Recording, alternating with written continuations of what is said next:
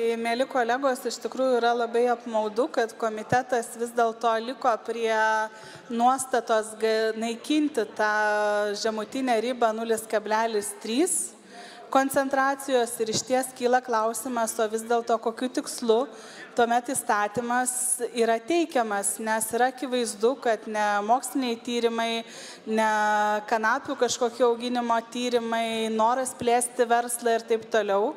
Čia sukasi, o sukasi noras į rinką teikti produktus, kurie turėtų, na, iš esmės neribotą koncentraciją, kuomet yra naikinama 0,3 koncentracijos riba. Tai tikrai yra labai apmaudu, kad taip yra džiūgaujama iš šitos tribūnos, kuriant tam tikras pilkasias zonas rinkoje, kur ir taip jau kontroliuojantis e, asmenys, kontroliuojančios institucijos susiduria su gana didelėmis problemomis, kaip kontroliuoti rinkos subjektus.